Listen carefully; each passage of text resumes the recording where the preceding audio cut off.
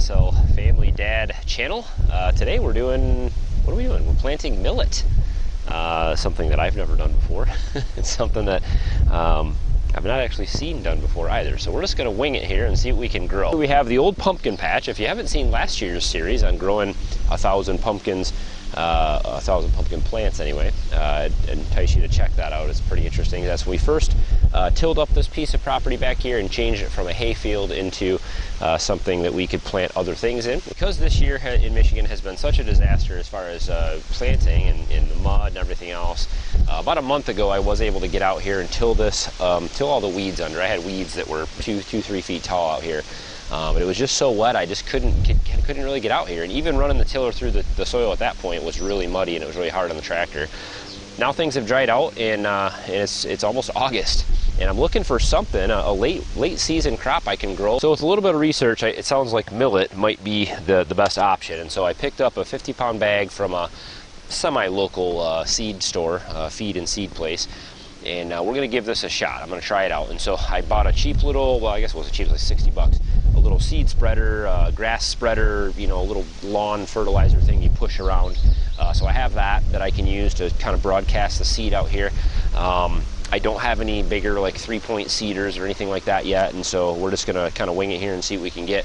But the millet is basically what my plan is. Is it's something I figured that I could grow. It gets a grain head on it. It's kind of like it's a grain of some sort, and uh, it does have some good nutritional value. It'll keep this plot covered for the next three months, you know, with something growing in it, which you always want to have seeds in the. You always want to have roots in the ground. You always want to have things growing. You don't want to leave leave uh, you know stuff barren. And the other purpose for the millet is I'm going to try to feed it to our pigs and our goats. We're going to have a few pigs still for a while here through the winter probably. We're slowly kind of selling them off and and whittling that down. Uh, we're just going to take that operation down to the small scale possible and eventually end it unless I can get out here and redesign my pig operation before that. But uh, uh, millet, I, I, can use my hay equipment, I can use the sickle bar to cut it, and I can use my rake to rake it, and I can use my baler to bale it, and that's how we'll harvest it and store it. Uh, so we'll let it dry out, we'll, we'll store it in the barn as a bale of millet, which basically will, the goats and the pigs will eat all the seed heads off of if I just throw a bale in there or flakes of it in there. And then the rest of it is basically straw, and that'll break down for bedding for them and all that kind of stuff. They may eat the stalks too, I don't know, we're going to see. This area back here could be, I don't know, it's probably three quarters of an acre or something like that, maybe half of an acre uh, of, of property. Um, and so uh, we'll see what we get out of it. I don't. I have no clue what will happen. I'm not going to use any weed control. I'm not going to use anything. We're just going to plant it, spread it, and uh, and see what happens. Uh, if it gets weeds in it, we'll bale those right into. The goats will love them. So that's totally fine. We've got some more prep work to do out here, some more tilling to do to get rid of the grass that's uh, that's out here and get the soil nice and, and, fluffy. And we'll broadcast our seed, and then we'll find a way to to uh, bury it with a little bit of dirt, and hopefully it rains later this afternoon and and uh, gets it nice and wet. So uh, let's get to work.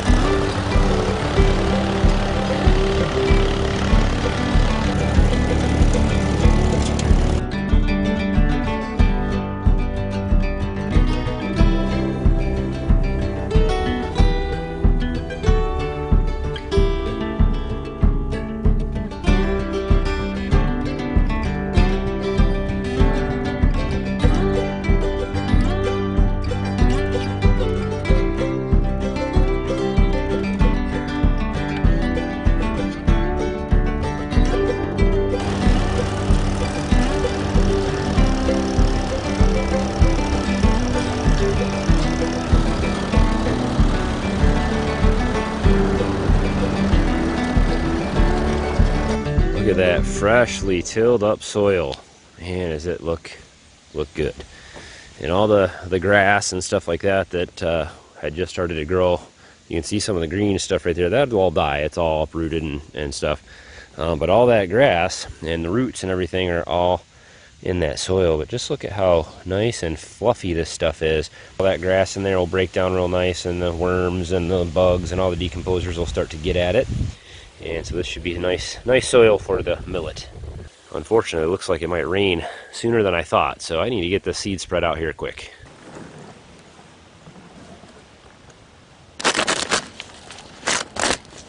That's what the millet seed looks like. It's almost like a, a wheat berry, um, round little little seeds. So.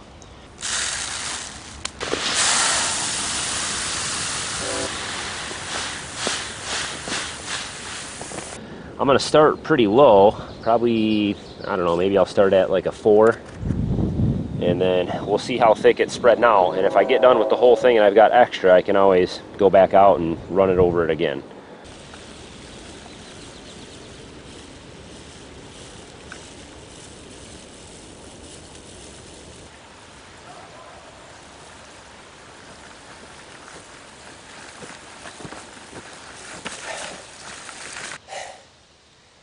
Well, it's a lot easier to pull it than it is to push it, that's for sure. It's gonna be a lot more work than I thought it was. I didn't want to get a broadcast spreader for the back of the tractor because I just figured driving an 8,000 pound tractor back and forth over the soil that I just tilled is gonna be counterproductive. I wanted to keep it fluffy, so I figured this would be, to be easy. Well, I'll keep going.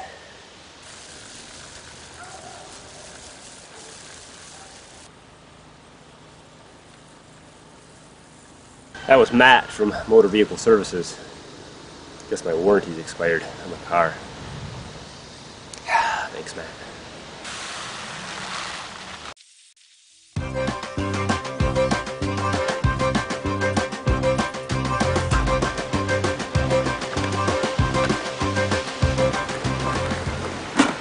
Well, that's it.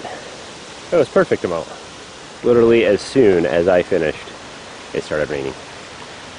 So the next thing I need to do is cover that seed. I don't want the birds to all come and eat it, and I need it to be packed around some soil so that it can be stay, you know, stay moist and germinate. Got a chain link fence to drag around, but what can I use to drag it around that won't disrupt the soil too much? Hmm. I can't really use the big tractor. The little tractor doesn't have a lot of power, and the mower deck will probably get stuck in the mud. Hmm.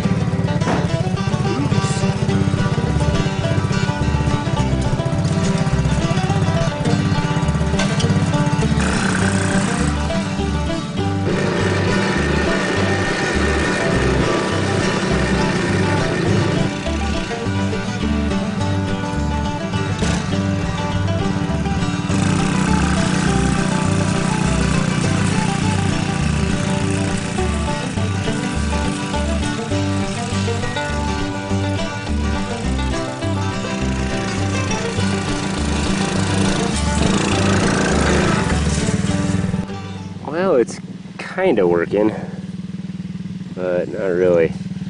But I'm not sure the old pink four wheeler's up for that uh, that kind of struggle. It, it really it's kind of too much for it to pull this. I could try the garden tractor.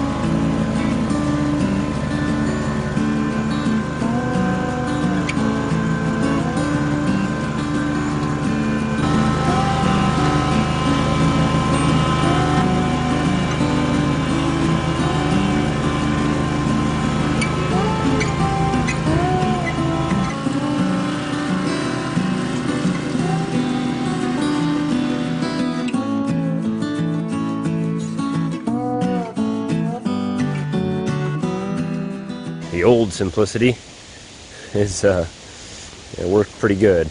Um, there's still some seed that's not covered, but I would say we got about 80% of it that's uh, that's pretty well covered. So you can still still see a lot in here. But I think after we get a good thunderstorm coming through here, a lot of that stuff will will get uh, kind of washed in a little bit too. So we'll see. We'll see what happens. This is what the area looks like. You can see all the seed on the ground here. This is how it was seeded. This was not covered uh, in this area over here. I just missed this spot. So that's what it was was like uh, before I ran the, the fencing over it. This is what it's like after the fencing runs over it. So I would say 80% of that is, is covered, maybe 75 to 80%. So that's, that's not too bad. This little device uh, didn't work too bad for throwing it together in 10 minutes. I had a couple bricks to put on there, added some weight to it, and didn't work too bad. But I think the trick next time I do this is to have more fencing. So if I had this come back maybe a little bit longer and add more bricks to it, I could put a brick in the middle there, and then maybe another line of bricks along the back, and then maybe pull it with the bigger tractor. Uh, I think that might work. Well, it hasn't hasn't really rained since that little sprinkle, but it's going to rain soon. Whenever I'm planting stuff like this, even in our garden, I try to plant it so that we can plant and then it will rain.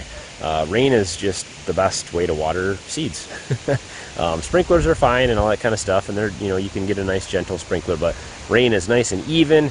Uh, really waters everything in, especially if you get a good good thunderstorm rolling through here in the in the summer. And so, uh, hopefully, this rain will come on the next hour or so and, and soak this field really good. Otherwise, I might have to drag hoses and sprinklers out here. Nature could really save me some time if, if it would just rain, which I think it's going to. Well, we're just waiting for this storm to roll in now, and so uh, I got everything put away in time and uh, everything planted. So, mission accomplished for today. Uh, hopefully the millet will grow. I've never grown millet before. Uh, you know, I know that there's going to be a lot of weeds and other stuff that are going to, you know, grow up in there. I don't really have a plan for weed management out there. I'm not mulching. I'm not using straw. I'm not planting in rows or tilling or anything. I'm just, just spreading the seed, and what grows grows. And then at the end of the year, uh, whatever we harvest, we're going to bale. We'll dry it, bale it, and then that will be uh, a food for the goats through the winter time, the pigs through the winter time, uh, possibly the horses. I don't know if they'll eat it or if they'll like it, but uh, we're, we're going to try it out. The thing with millet is that it's super cheap, it grows very fast, and it's it's used as a cover crop a lot of times because it uh, um, because it does grow so fast and because it really is known to kind of choke out weeds and other things. And so uh, we'll see. Like I said, uh, we'll take you guys along for that. The wheat slash weed patch over here by the greenhouse. I'm just looking at that. The wheat is ready to harvest, and so we're going to go through there and, and we're going to cut all the weeds and all the wheat down, and then we'll uh, we'll have to separate it, and we'll separate it all out. Um, we'll start uh, finishing the, the drying process for those grain heads on the wheat, and then we're going to have to thresh it, and we're to have to get the seeds out. Harvesting that wheat's to be to be quite the process, I'm sure. But uh, that'll be coming up here soon, as well lots of other good stuff. So stick around, of course, and subscribe if this is your first time here. Don't forget to hit thumbs up on today's video, which always makes a big difference for us. And as always, guys, thanks for watching. Have a good one.